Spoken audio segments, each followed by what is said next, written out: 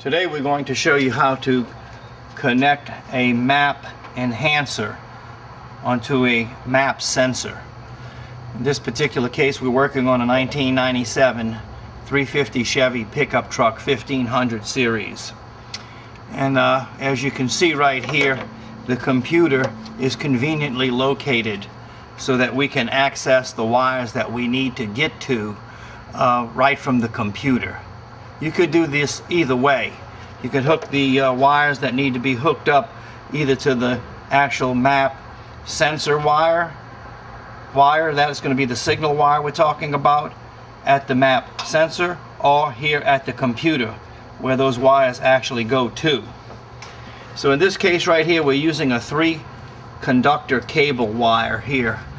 The cable's gray right here, but there's three wires that are inside this particular uh, cable that we're using. We have a white wire right here.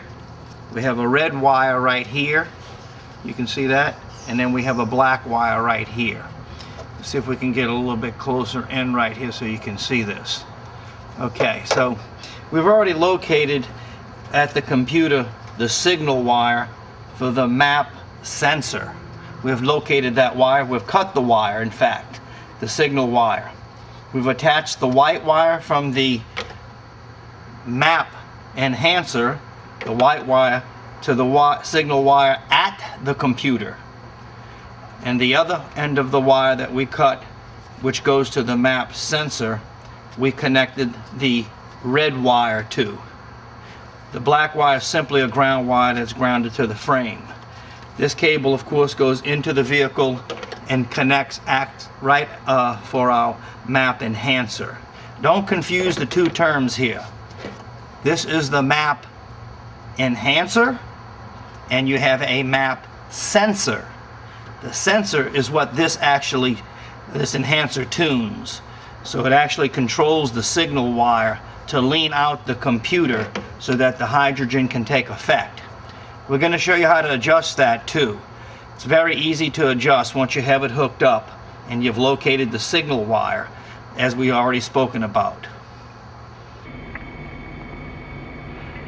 Okay, we're inside the vehicle now. We're going to attempt to adjust the map enhancer.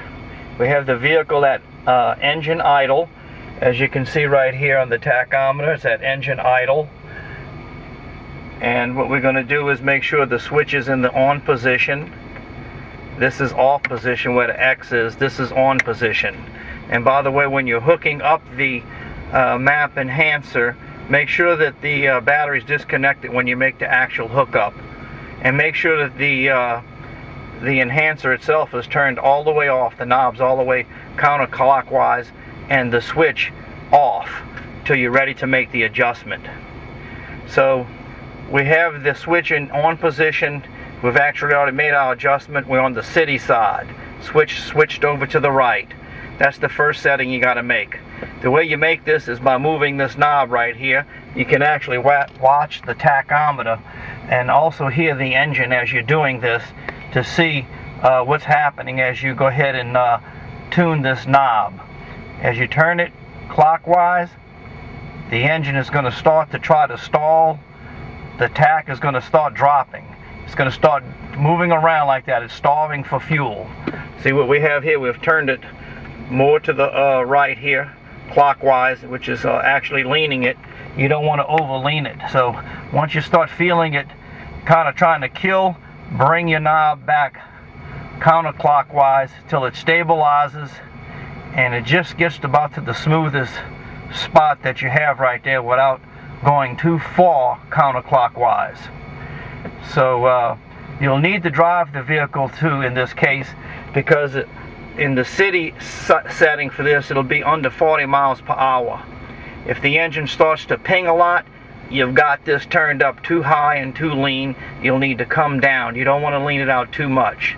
Now, after you get that set, that's for under 40, 40 miles per hour and under. You would do likewise to the highway by switching it over on the highway. Make sure you're not in any traffic and start to adjust the highway knob likewise. If the engine starts to ping excessively, you got it turned up too high. Start turning it down and bring it a little bit richer and until you get it just about where the pinging's completely gone and that'll be your ideal setting for the highway. So it's very easy to set. Thank you for watching this video. We hope that you rate it and we hope that you also help to improve the environment and your fuel mileage. Thanks for watching.